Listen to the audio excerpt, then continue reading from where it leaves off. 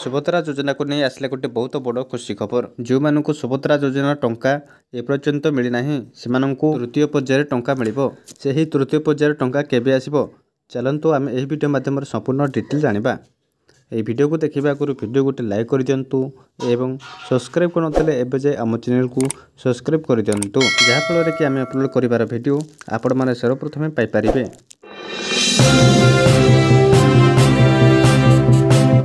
October ନଅ ତାରିଖରେ ଆସିଲା ସୁଭଦ୍ରା ଯୋଜନାର ପ୍ରଥମ କିସ୍ତିର ଦ୍ୱିତୀୟ ପର୍ଯ୍ୟାୟର ଟଙ୍କା। ମୁଖ୍ୟମନ୍ତ୍ରୀ ମୋହନ ଚରଣ ମାଝୀ ବାରିପଦା ଆସି ସୁଭଦ୍ରା ଯୋଜନାର ଦ୍ୱିତୀୟ ପର୍ଯ୍ୟାୟର ଟଙ୍କା ପ୍ରଦାନ କରିଥିଲେ। ଏଥିରେ ପଇଁତିରିଶ ଲକ୍ଷରୁ ଅଧିକ ମହିଳାଙ୍କର ଆକାଉଣ୍ଟକୁ ଗଲା ପାଞ୍ଚ ହଜାର ଟଙ୍କା। ନଅ ତାରିଖ ସୁଦ୍ଧା ଓଡ଼ିଶାରେ ଷାଠିଏ ଲକ୍ଷ ମହିଳାଙ୍କୁ ସୁଭଦ୍ରା ଟଙ୍କା ମିଳିଥିବା ବେଳେ ଯେଉଁମାନଙ୍କୁ ସୁଭଦ୍ରା ଯୋଜନାର ଟଙ୍କା ମିଳିନାହିଁ ସେମାନଙ୍କୁ ପୁଣି କେବେ ମିଳିବ?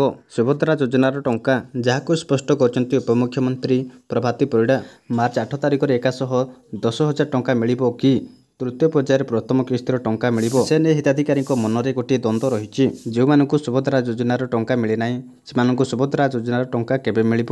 ସେ ନେଇ ଲୋକମାନଙ୍କ ମଧ୍ୟରେ ଗୋଟିଏ ଦ୍ୱନ୍ଦ୍ୱ ରହିଛି। ଯେଉଁ ମହିଳାମାନେ ନଅ ତାରିଖରେ ସୁଭଦ୍ରା ଯୋଜନା ଟଙ୍କା ପାଇନାହାନ୍ତି ସେମାନେ ସେମାନେ ତୃତୀୟ ପର୍ଯ୍ୟାୟରେ ପାଞ୍ଚ ହଜାର ଟଙ୍କା ପାଇବେ।